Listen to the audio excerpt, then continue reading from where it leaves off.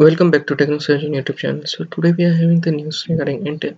Intel Archimedes GPU has got a driver patch with the support for 5th display support and we officially know from the render that it doesn't have a display port for this. It only has 4 display ports.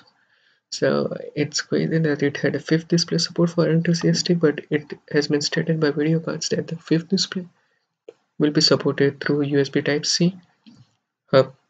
So you can technically connect five displays to these GPUs and it is the first time Intel is coming into GPU market and then you are doing a pretty good job at that by giving support to the NTCST lines of GPUs for persons who use more than four monitors. It's not for gamers though. Moving on, AMD has recently unveiled its 6000 Ryzen 6000 and S series of GPUs and CPUs and we have a note and it is made for the slim and slim notebooks and we first have we have the benchmark for it. Basically the benchmark is for Ryzen 9 6900S and RX 6900HS GPU yeah.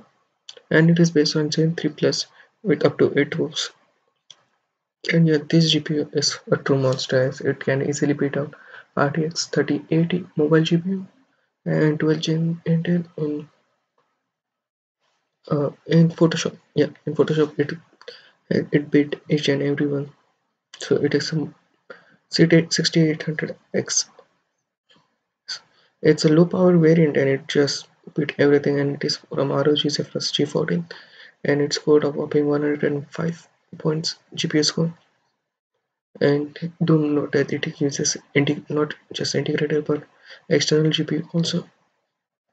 And it can single-handedly beat the overall score of 3080 GPU which is a big because in slim and in slim notebooks it's difficult to cool down but this chip is able to deliver performance and also